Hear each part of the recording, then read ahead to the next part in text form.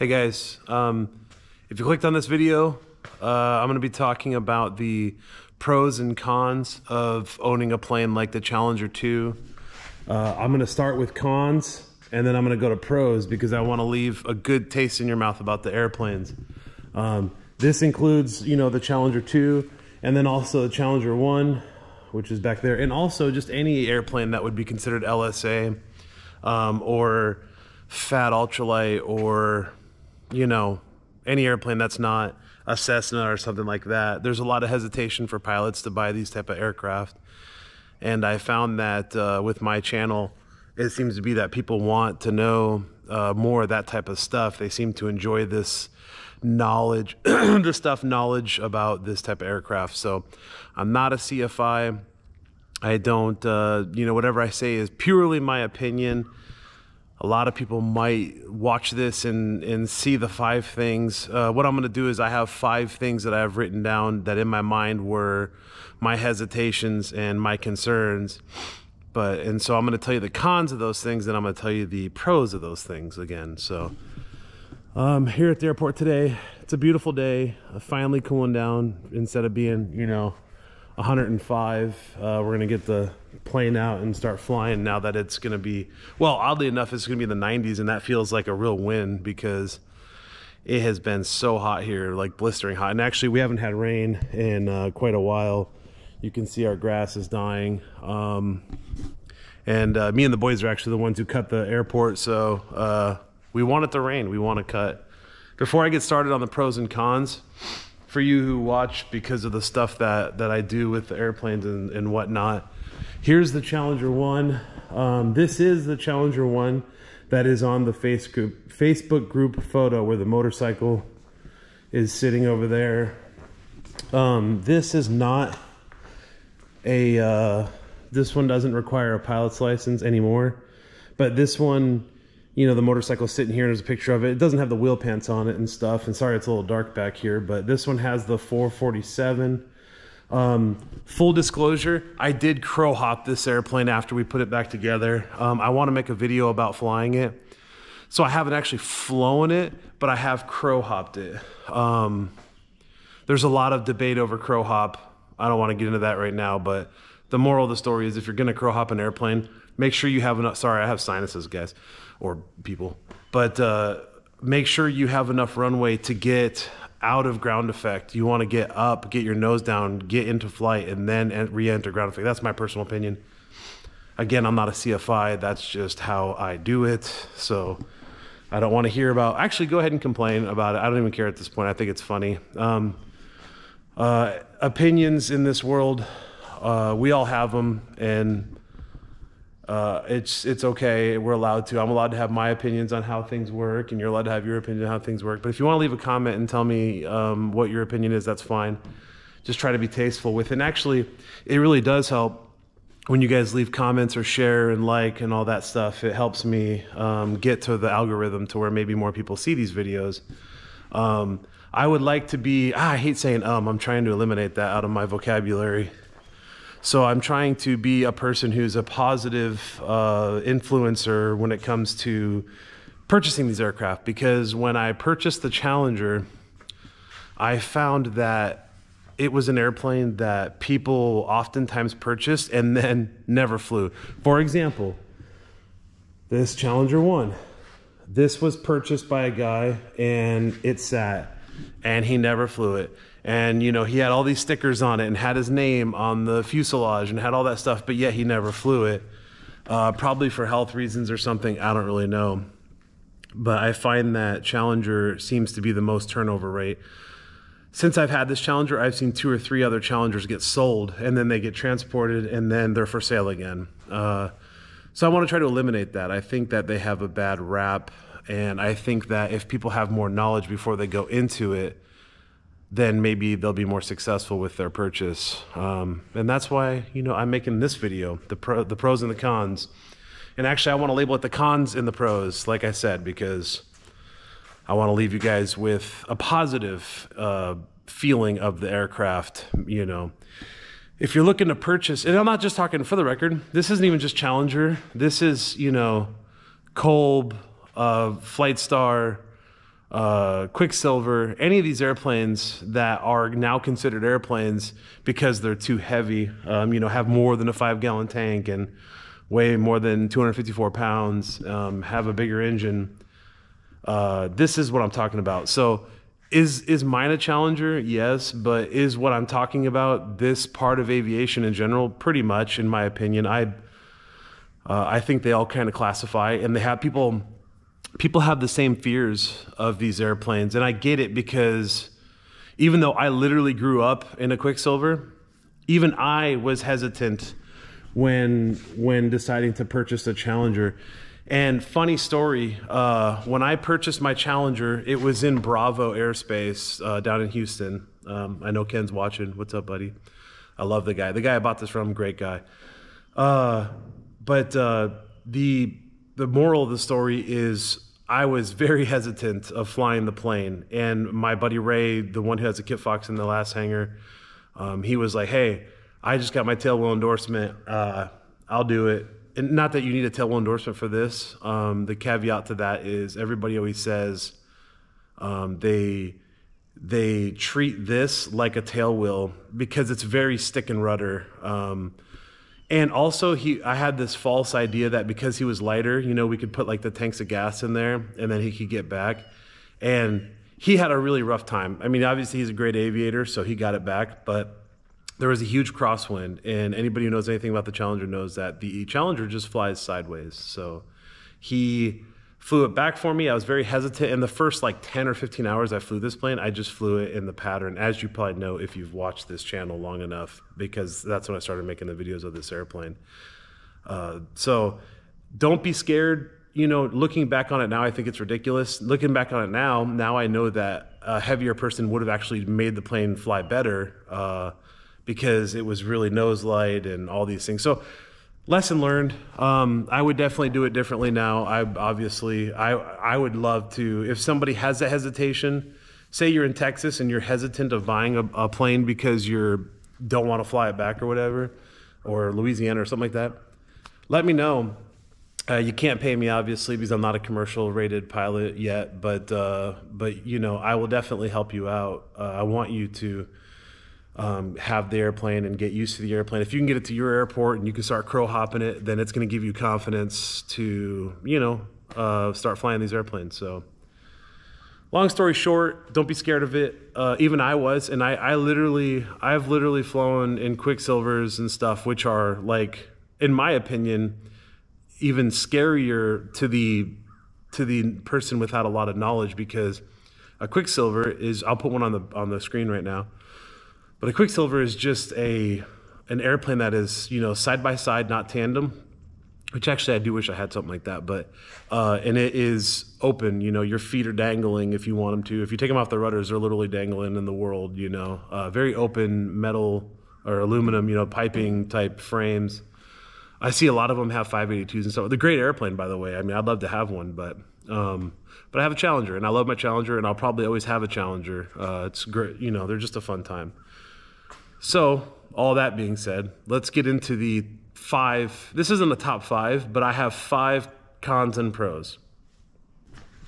All right, so um, con five. If you buy an airplane like this, you must have your faith not also in your Lord, but you must have your faith in nuts and bolts.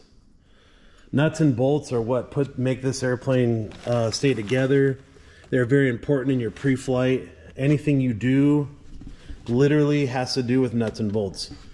Uh, excuse me, this is unique because when you're flying an aircraft like a Cessna or a uh, uh, Cherokee, when you pre-flight those airplanes, um, you don't have to put as much emphasis on things like nuts and bolts. You are looking at control surfaces, you're looking at things like that.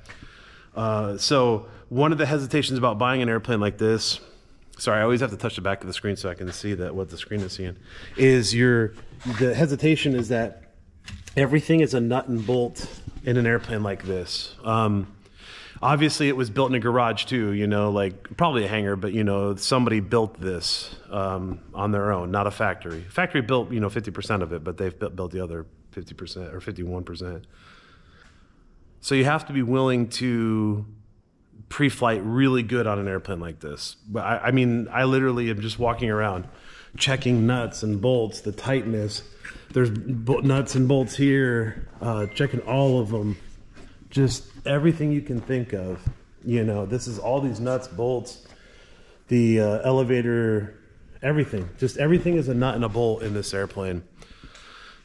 So let me get to the pro of that because again, everything there's pros and cons to both of them. Um, the pro is that when I go and fly an airplane like a Cessna or a Cherokee now, I pre-flight like a boss. Like, number one, it's so easy, but I feel like I look at things now differently than I did when I wasn't pre-flighting a Challenger, if that makes any sense. So the pro, the con is nuts and bolts. The pro is your ability to quality pre-flight. It's going to make you a better pre-flighter to have a plane like this. We all know pilots who don't pre-flight, and I'm not. I don't judge them. They're all great pilots usually, uh, but you never know what your airplane, what has happened to it in the last flight, or what somebody did to it while I was sitting at the airport, or uh, some person who just got hired on at the airport maybe ran something into a control surface or something. You don't know. So a pre-flight. Like my plane is granted you know this is the the challenger um, and not like a cessna. The pre-flight is you know a good you know five or five to ten minute long thing because of all the nuts and bolts where uh, where at a regular plane you know you can do it fairly quickly and be fairly thorough. Um, but you know the moral of the story is it makes you a better pre-flight person. That was number five. Now number four. Okay number four Number four is the cons. This airplane, even though it looks like a fighter jet, this thing is slow as hell. This is a very slow airplane. I don't have the, uh, you know, the strut fairings. I don't have the, the wheel fairing. I don't have any of that stuff. This, and I don't have doors, which I don't want doors. But this is uh, the slowest plane you will fly probably uh, even the Challenger 1, just in my crow hops, I can tell you that that airplane is faster than this airplane. Uh, it does have it does have the fairing covers and stuff like that, but so that is the con. A con is if you want to go somewhere fast, uh, you, you this is not the airplane for you. Now this airplane can be made 10, 15 miles an hour faster, faster, and I might do that at some point in time. But right now it's not my priority. I don't need to go fast. I'm not going anywhere far away. And you know, an hour, maybe two hours away is about it for now. The con or the pro to that. The pro to that is, guys, you can log. This has a tail number. This is a registered aircraft. You can log time in this. So this airplane's using like let's say four gallons an hour. Uh, you might not be going super fast, but you're logging that time. You got to have 1,500 hours for your ATP. You can buy this airplane and log time in it. Um, you cannot log instrument time. Uh, and obviously, night would be difficult. I, I, don't know the rules on that, so I don't want to speculate or get into it. Um, but you can't you can't obviously do any instruments in it, considering it's obviously a VFR machine. If you guys can see, I don't know if you get uh, the light, but it's a VFR machine. So, but you can put those hours in your logbook with this airplane. Uh, I know lots of people do. If you're willing to, you know, and it's cheaper. It's so much cheaper. You know, you're talking four gallons an hour um, it's just a good way to build time in your logbook. So the con is it's very slow, but the pro is that if you just want to log time, that's perfect. Also, um, I remember my dad told me one time. My dad watches these videos too, and obviously he used to be a very just all he did was these airplanes growing up.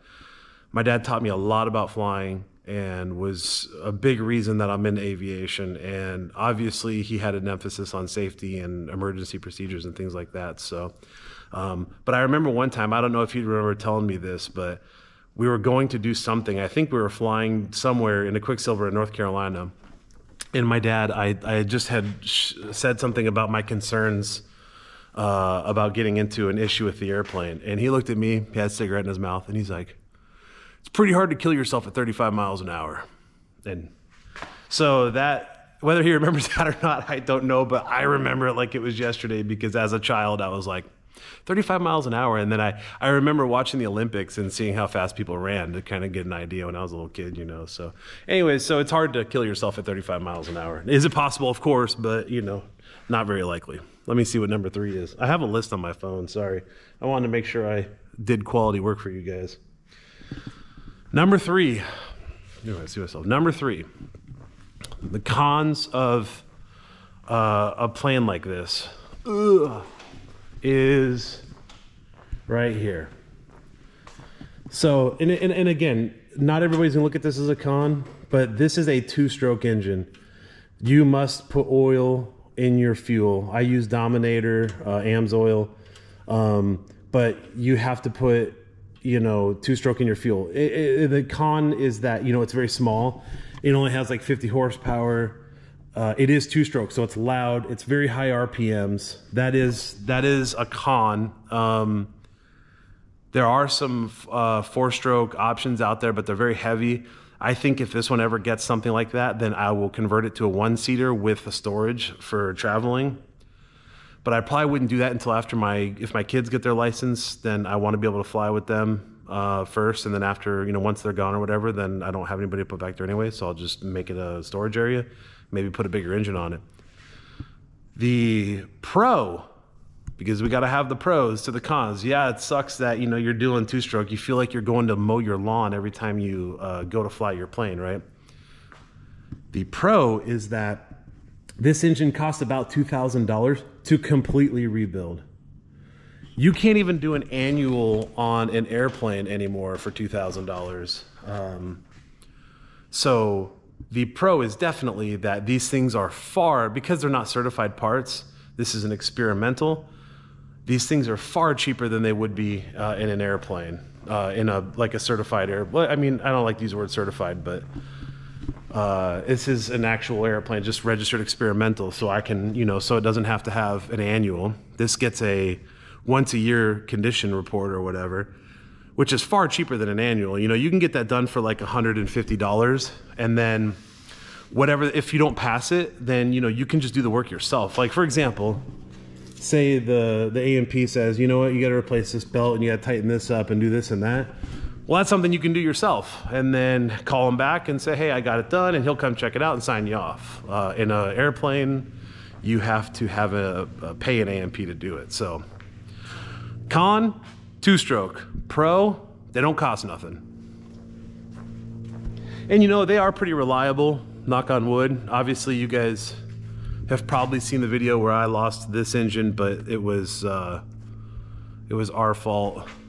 I say our fault, but my fault. Anyways, you live, you learn. Okay, so number two, I kind of overlooked this a little bit, but I was just talking about it, is the fact that, you know, you do have to, because this is not an ultralight, you do have to once a year get an inspection on it. Um, the pro to that is that it's not an annual. Uh, I kind of covered it already, so I hate to backtrack on that, but that was my number two. So I kind of segued from three to two uh, on accident. So let's get into number one. Number one is going to be, I hate saying this word because I never say it right, controversial. I think that's it. Um, probably not a hard word for most people to say. I don't know. There are some words. Get over it. So I personally feel, and this is my personal opinion, which I'm entitled to, America, last time I checked, for now. I feel that this airplane is harder to fly than other planes. I've I've been fortunate in my life that I have been able to sit in a lot of aircraft, um, and out of all of and, and, and fly a lot of aircraft, um, all the way from a caravan, um, you know, uh, all the way down to Quicksilver or Challenger or whatever. The, the Challenger is hard to fly. I am not going to lie to you. I don't want to sit here and be like, oh, it's going to be all, you know, daisies. And, um, and it, it, it's not difficult in, in a sense that it's physically hard to do. It's hard to fly in that you have to build trust with the airplane. This airplane doesn't always do what you ask it to do right away. So you have to be patient, you know. Um, tailwind. If you are doing anything in the pattern in a tailwind and say the tailwind is 10, 15, 20, you're not going to have a lot of authority in the, with the aircraft. Um, you have to build that trust that you know eventually the plane's going to do what you want it to do. It's going to make that correction. And I think that that causes a little bit of panic for some people, and I completely get it. It did me too. I remember the first time I wanted to fly with a 15 knot crosswind, it was 15 gust to 20 down in Jacksonville. And I got in my downwind leg and I didn't hadn't gained a ton of altitude, but I was like, you know, okay, not too big of a deal. But man, when I turned into that and I realized I couldn't climb and I had no no yaw authority, it really messed me up. All right, took a quick break there. The owner just pulled up and I didn't want him to I'm sure he watches this already. He knows. I just didn't want to be like sitting here doing this while he was sitting there and going, "Hey, uh, what's going on?" Uh, so I'm back. Again, it is not difficult to fly this aircraft. It is, it's a, it's work. It's stick and rudder, and you have to make. Uh, if you watch any of my other videos and you watch the landing portion of the video, it's a lot of hand movement. It's a lot of feet movement. You have to make instant uh, uh, adjustments all the time with this airplane. So definitely keep that in mind. But don't let it. But here's the pro. Okay, that was the con. Uh, and again, people are gonna. These guys who've been flying these things their whole life. Trust me, I know the. I can name off all these people. I know. Listen, I know, and I respect all of you guys. I'm not saying this plane's hard to fly. Listen, when you're up there, it's it's it's smooth and you can trim it out, and I get all that. What I'm saying is, compared to a Cessna or a Cherokee, this one requires more work. When I get in a Cessna or something now, or the Cherokee, it's like laughable to me. I'm like, wow, why did, like, there are times you land, you don't even like, you just, you just ride it out. And in this plane, you can't ride anything out. You have to make constant, you know, I mean, literally, here's a, here, the stick, the whole time you're landing, you know, the stick, I mean, you're like, you're doing all this number, this number, then you're flaring, flaring into it.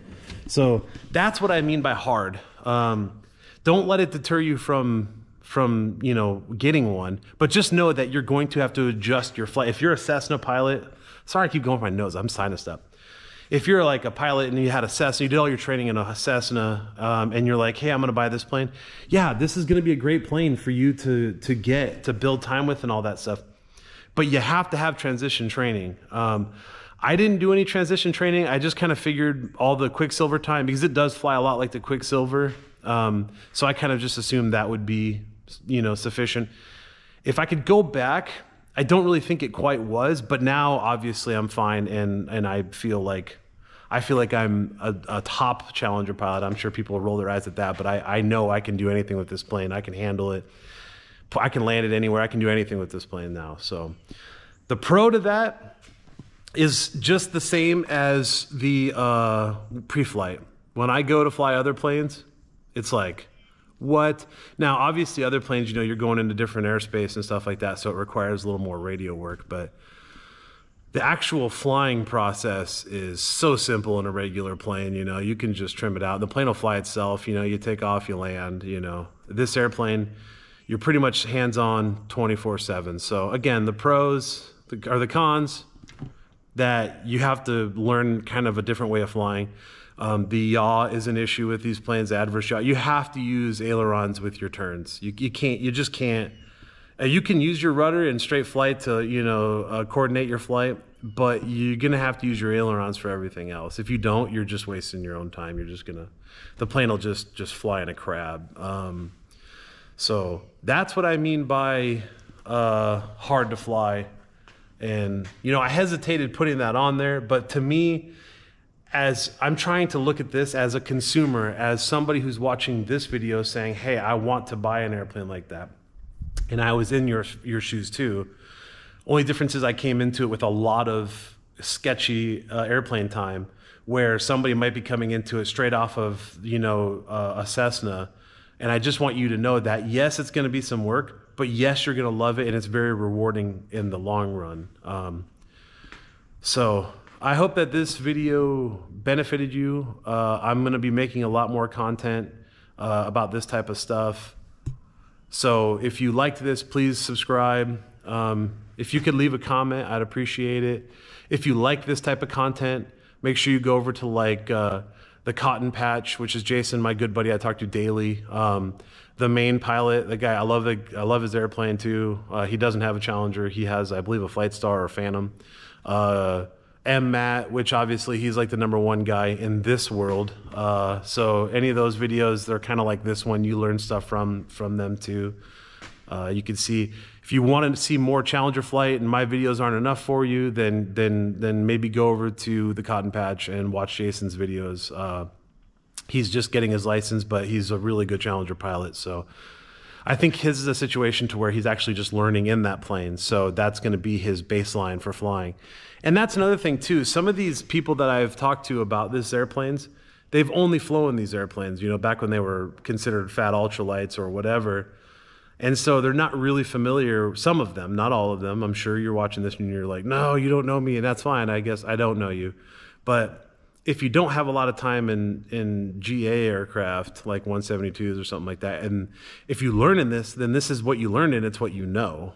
Um, but you can't go from this to a Cessna because it's completely different, you know? Uh, and that's hard to explain. And I'm trying to sit here and explain it to you guys, and I'm realizing that I'm just probably, uh, it's a lost cause if you are going to, if you're watching this video to try to make a decision on buying a plane like this, um, or even a, a, version of that with a bigger engine and a certified, you know, a tail number, do it. You should definitely do it. And when you get it, don't let it scare you.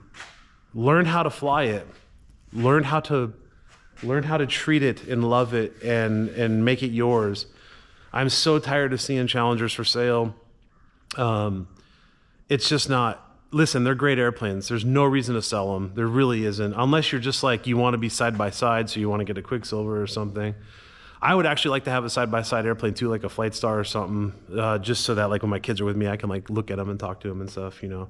Obviously i know they're not going to fall out back there but uh, i'm always like my like justice my younger son when he's back there i mean I, listen I, I know nothing's going to happen but uh, his, his their feet are up here so I'll find myself like just always looking at his feet to make sure like I know he didn't go anywhere. Hell, it'd be if you wanted to jump out of this plane, it would be hard. Okay. Uh, it'd be very difficult. So, but you know, I, it's just one of those things I have as a dad, I guess. So, backtracking.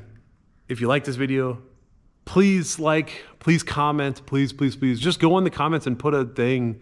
I'm gonna be doing a giveaway thing real soon too. Actually, it's gonna be cool. I think you guys are really gonna like it. So please subscribe, please like, please comment. And also in the comments, you can put what you want to see from me from this airplane. I can, if you're if you're thinking about buying a Challenger and there's something that you're hesitant uh, about, put it in the comments. I'll make a whole video about it, whatever it is addressing it. Um, again, I'm not a CFI, so it's just my opinion. Thanks, guys. Please subscribe.